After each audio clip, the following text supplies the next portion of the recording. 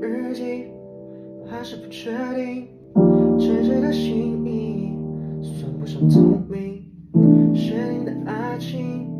依然很年轻，穿过了生命，偷走了神经，也许他搞不清自己到底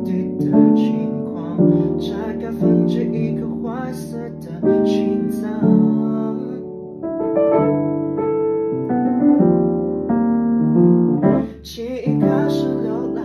第一次遇见是他，第一次送出鲜花，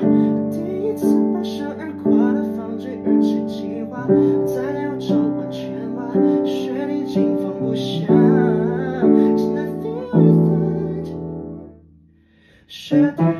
明白。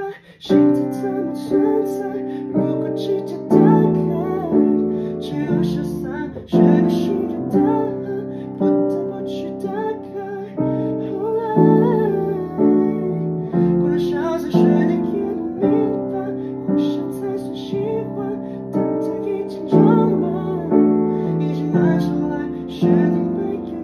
憾，决定依然孤单，后来依然喜欢。